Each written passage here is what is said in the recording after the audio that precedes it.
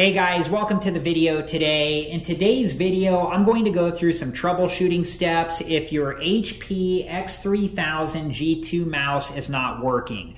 But before we begin, I wanted to let you know a couple things. First, make sure that you're wearing the proper safety equipment and take all safety precautions. And second, I do have other videos on this mouse and I'll link those at the end of this video. And if you're interested and have time, please check those videos out. Okay, so we're going to turn the mouse over, but before we do, the laser light is under there. So make sure that you do not point the laser light at any living thing. And then when we turn the mouse over, we want to make sure that the on off switch is in the off position. Okay, and this is the battery cover, and so I'm going to get a hold of the side of the battery cover and gently lift it up, and we'll just set the battery cover to the side for now. And you want to make sure that your battery is installed the correct direction. This mouse uses one AA battery, and I'll show you where you can verify that information.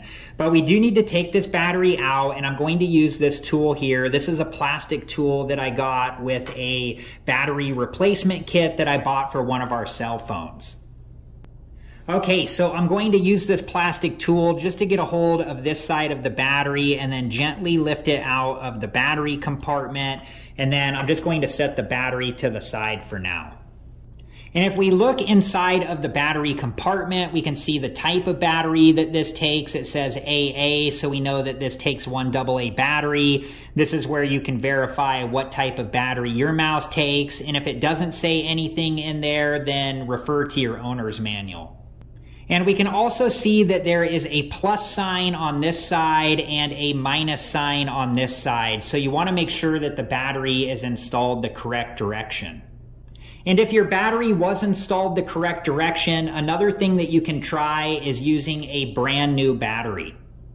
Okay, so now I'm going to reinstall this battery because this battery is okay and just make sure that you install it the correct direction and make sure that it's installed all the way into place.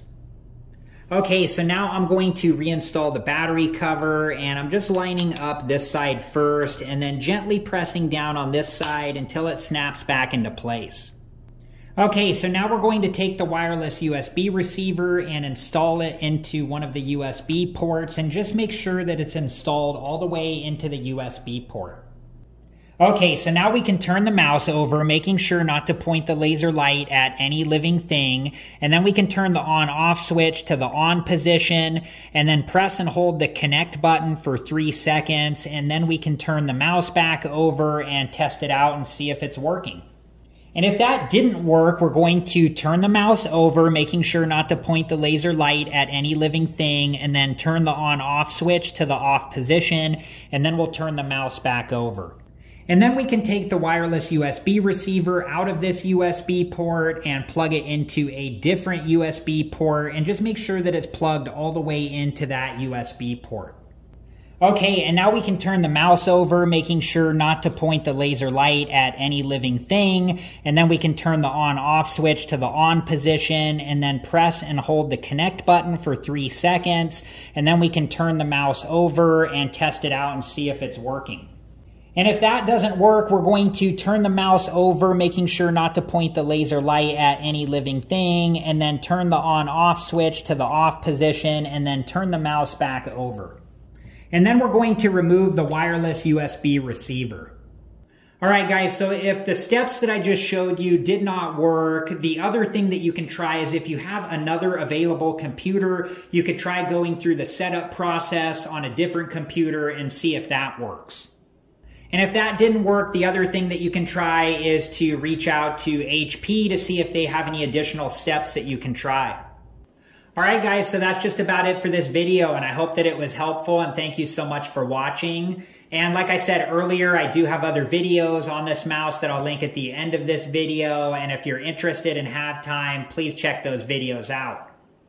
Thank you guys again so much for watching. Please like, subscribe, and comment, and I hope to see you guys in the next video. Have a good one. Thank you guys for watching. Please like, subscribe, and comment. And if you have the time, check out these other great videos.